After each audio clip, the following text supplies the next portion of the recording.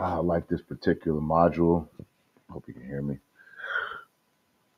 because of the way it describes how you have to have clarity to feed to the universe to let it to let the universe know what your goals and dreams are exactly and exactly what you want to get out of it.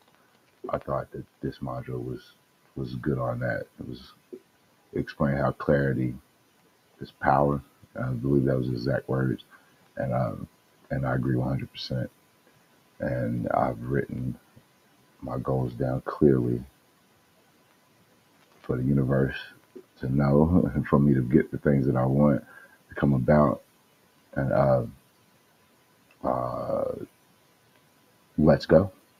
That's it.